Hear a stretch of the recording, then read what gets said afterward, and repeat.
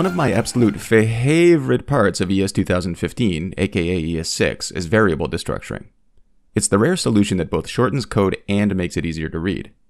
Destructuring essentially means that you can pull values from inside an object, array, etc., and assign them to variables in a single line.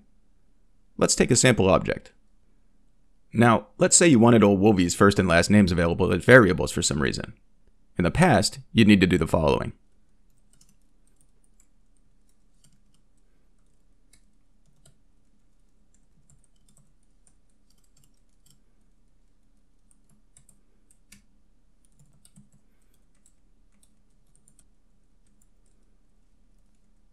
And when we console log, we get James Howlett.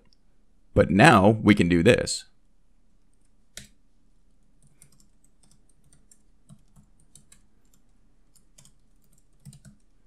Save that. Clear this. Refresh. Same deal.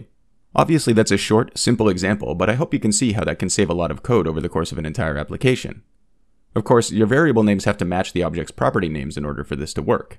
If you want to have different variable names, you can do that too. Here's how.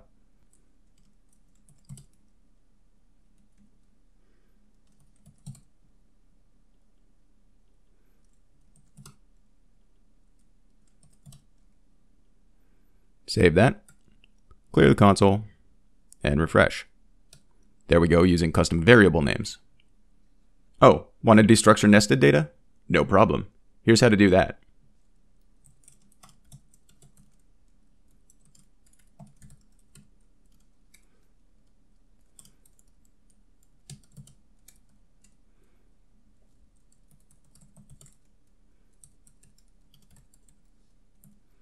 Save this. Clear this. Refresh. Healing factor, adamantium skeleton. You can also destructure arrays, like this.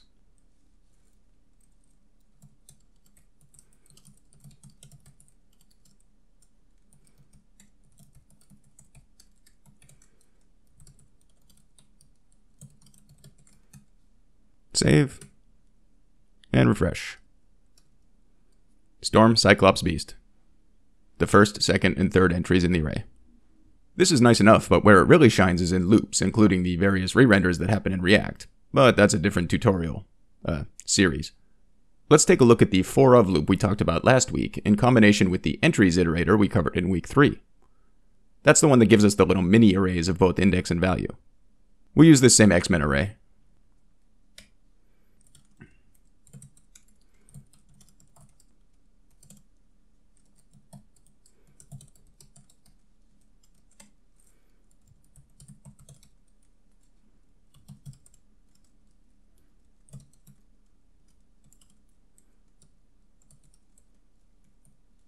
Save that, and when we refresh, that's going to log six lines. There we go. Before we get to talking about template literals like this string value, we're going to take a quick detour next week to talk about an important addition to destructuring called the rest operator, which literally allows you to get the rest of an array. Oh, and don't forget, you can download example files for each of these tutorials from the JS Quick Hits GitHub repo. I'll link it in the YouTube description. See you next week.